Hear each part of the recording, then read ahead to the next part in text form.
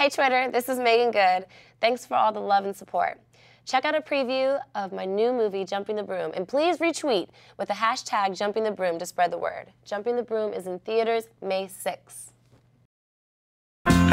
I know you want us to jump the broom, but Jason and I want to start our own tradition. What? Here we go. For Jason, I'll break this wedding up if I have to. Mom, got this all under control. getting married You need to squash all this. Shut up. Look at your shirt.